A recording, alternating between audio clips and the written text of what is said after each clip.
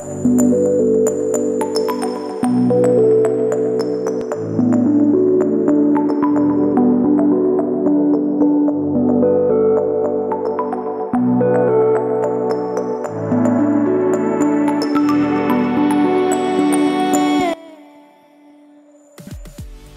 a todos y a todas, yo soy Nicole y hoy les traigo este video que es la entrada para los Knicks Face Awards Chile. Es un orgullo que se haga esto en Chile, así que estoy demasiado emocionada, no sabía muy bien si concursar, pero finalmente me atreví. Así que aquí les traigo el video y espero que les guste.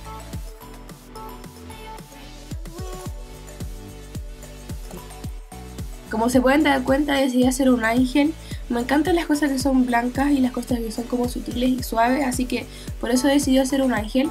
Así que comenzando con los ojos, como siempre, eh, utilicé un corrector de ojeras como primer y sigue con cualquier polvo translúcido para que así tengamos una base totalmente limpia para comenzar nuestro maquillaje.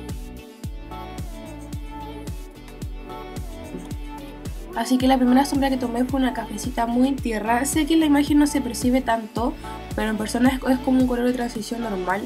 Las luces están muy altas, por eso que no se percibe tanto, pero es un color tierra base típico para colocar transición en el ojo.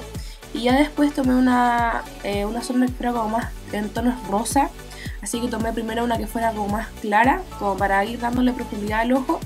Ya después tomé la sombra más oscura y la puse directamente en la cuenca del ojo.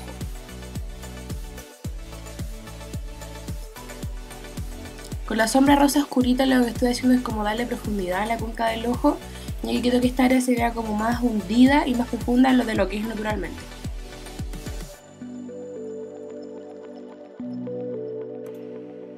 Y ya con el mismo corrector que usamos anteriormente voy a estar como cortando un poco la cuenca del ojo, pero no se preocupen, esto no se ve como el típico cut crease demasiado marcado, sino es para darle una base al color clarito que vamos a dar después y como que se adhiera mucho más. El color clarito que estoy colocando es un tono champaña con destellos rosa. Es muy muy bonito, así que esto es lo que voy a estar colocando en la almendra del ojo. Y también voy a aprovechar de colocar más del tono rosa en, la línea que separa estos dos colores para que se vea más profundo aún.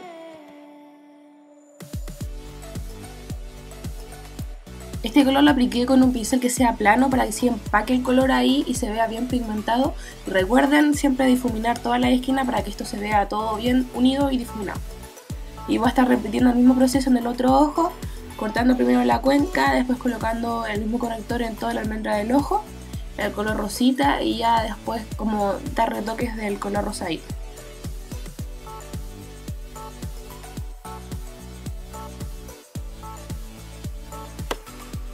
Si se pueden dar cuenta es algo bien simple, no requiere como la mayor complejidad. Eh, así que voy a ir haciendo lo mismo, empacando color para que esto se vea igual que el otro ojo.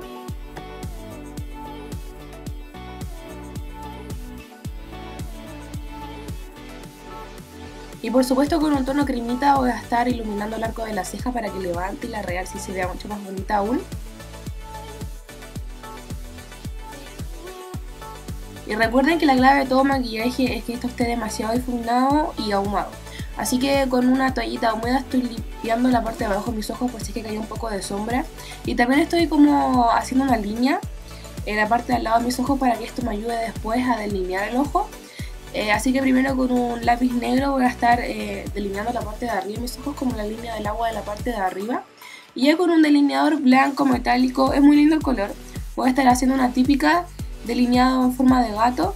Esto sí, quiero que esté un poco más grueso de lo normal para que así cuando coloquemos el delineador negro encima el trabajo no se pierda y obviamente se vean dos líneas de color y de verdad que este toque fue muy muy lindo.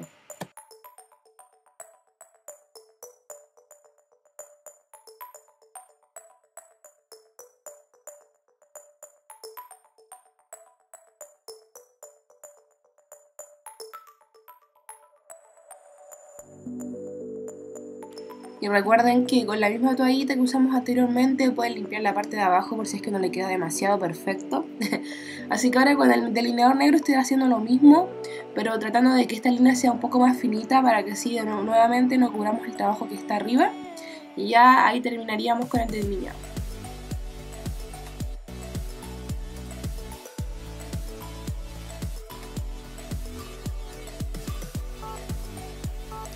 En el último momento se me ocurrió colocarle un poquito de escarcha al ojo. Esta es escarcha cosmética.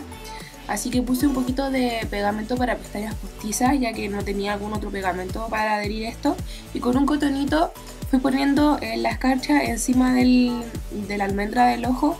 Esto se quedaba mucho mejor si lo hubiese hecho antes del delineado, pero si se pueden ver en la imagen funciona igual, así que no hay problema. Y ya finalmente coloqué estas pestañas, pero solamente en la parte externa del ojo. Un tip para que las pestañas se les peguen más rápido es dejar secar completamente el pegamento y así se les van a pegar muy fácil. Así que continuando con el rostro voy a estar hidratando, es muy importante hidratar el rostro, siempre así que por eso siempre lo hago antes de cada maquillaje. Y ya voy a continuar con mi base regular de maquillaje para lograr un, un aspecto más prolijo, para, por decirlo de alguna manera, una base más pareja.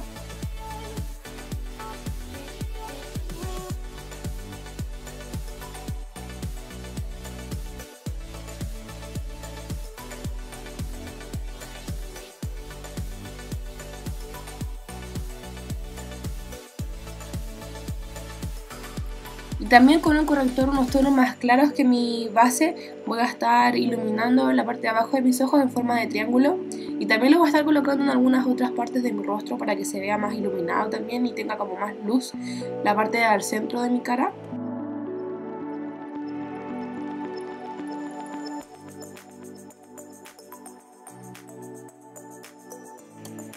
Yo en mi opinión siento que un polvo translúcido deja como la cara un aspecto más natural que un polvo en sí.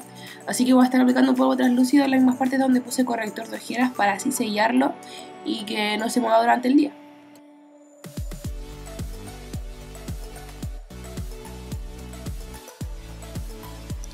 Voy a darle un poco de dimensión también a mi rostro con un bronzer cafecito. Eh, este no lo está haciendo tan marcado y tan difuminado tampoco porque voy a volver a esto después de nuevo, así que, ¿vale? Por esta parte.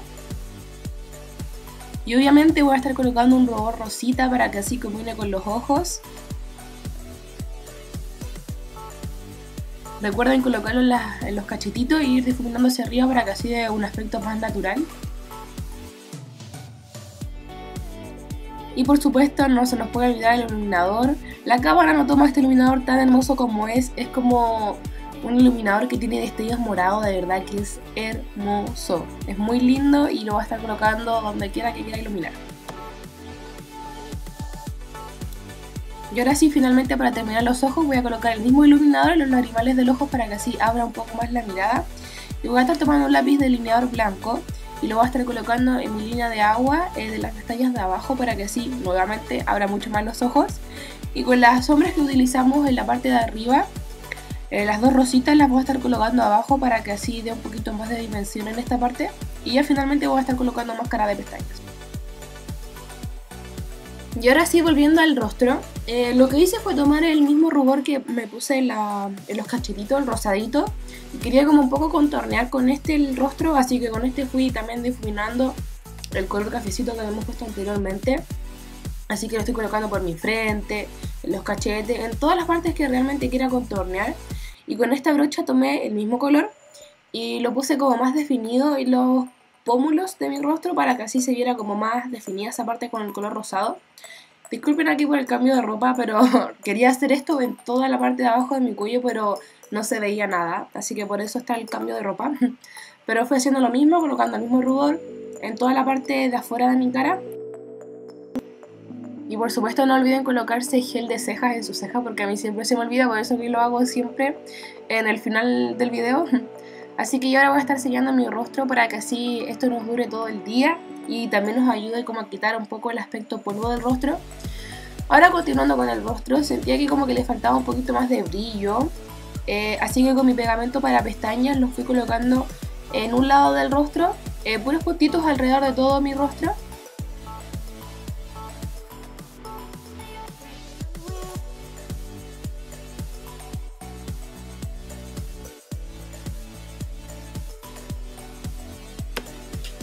Ahora sí con un cotonito fui colocando estas cositas que son esos adornos para las uñas.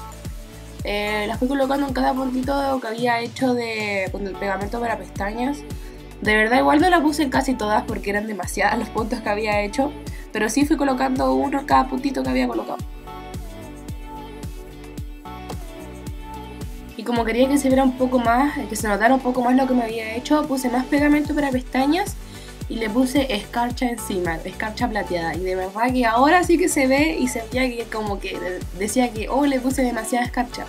Así que con una brocha después fui tocándolo encima para que así cayera el exceso de escarcha y solamente se viera donde yo había puesto el pegamento para pestañas.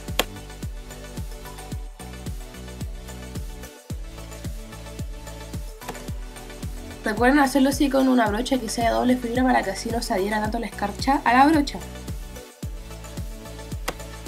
Y ahora sí para finalizar el maquillaje puse un labial rosita con un poco de gloss encima y ese era como el toque que yo quería colocarle.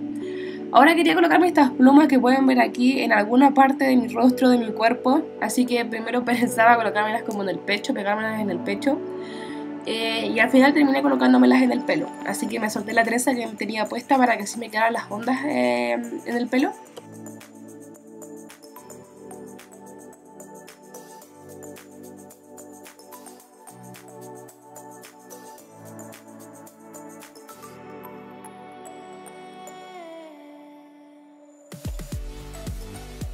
Aquí pueden ver las super plumitas. Así que al final con bobby pins, con pasadores, eh, decidí colocármelas en el pelo. sé que se ve extraño, pero era como para darle un toque y que, no sé, quería colocarme estas plumas en algún lugar. Había hecho unas alas y mi mamá me había comprado estas plumas y estas me habían sobrado. Así que por eso decidí colocármelas en algún lugar para así darle alguna función. Y de verdad igual me gustaba cómo se veían en el pelo, les daba como ese toque. Así que ya que con esto finalizaríamos todo el maquillaje. Y así es como se ve todo completo con las alas puestas, con el maquillaje y con las plumitas puestas en la cabeza.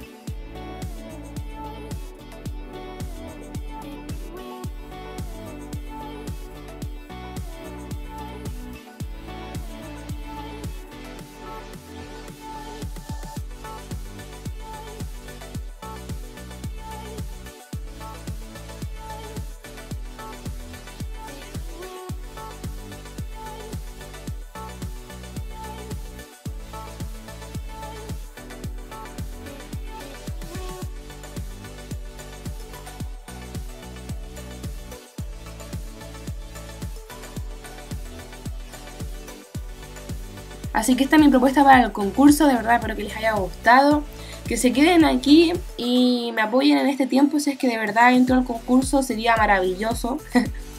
Así que eso, espero que el maquillaje les haya gustado. A mí de verdad me encantó mucho, no estaba muy segura, pero ya después al final decía, no, si está demasiado lindo. Así que no olviden suscribirse, darle me gusta. Recuerden que aquí video todos los viernes, así que nos vemos la próxima. Bye.